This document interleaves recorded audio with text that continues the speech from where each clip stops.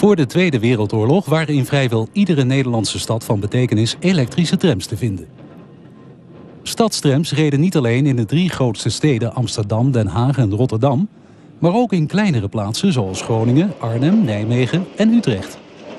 Bovendien werden elektrische trams op tal van interlokale verbindingen ingezet, zoals tussen Vlissingen en Middelburg, in Zuid-Limburg en op de grote netten van de NBM en de NZH. Hier rijden we rond 1920 per stadstram door de levendige straten van Haarlem. Voetgangers, koetsen, sleperswagens en de tram hebben op straat het Rijk nog alleen.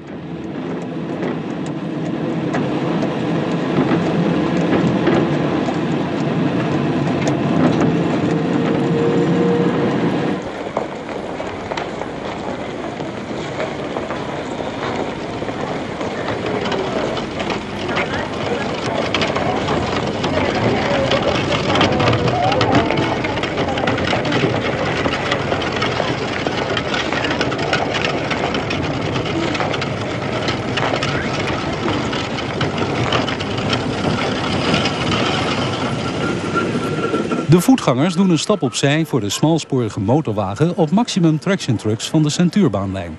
In Haarlem waren naast smalsporige ook normaalsporige stadstramlijnen van de NZ-HTM in exploitatie.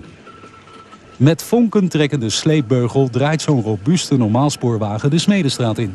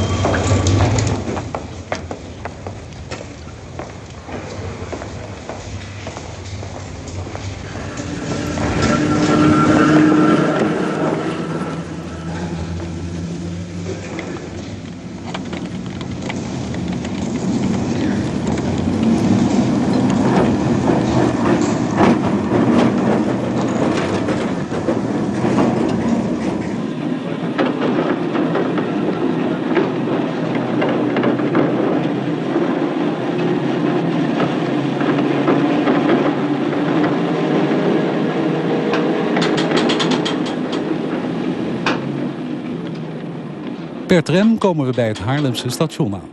Op de opstelsporen aan de rechterkant staan twee open zomerbijwagens opgesteld.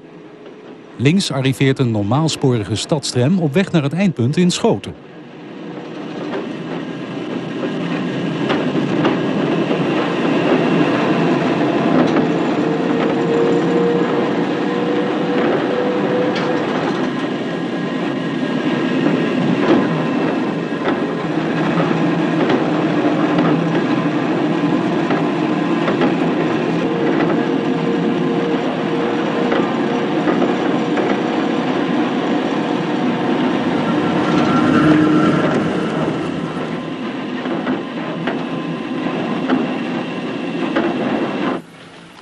Een interlokale tramtrein van de elektrische spoorwegmaatschappij komt de Tempelierstraat uit en vertrekt naar Amsterdam.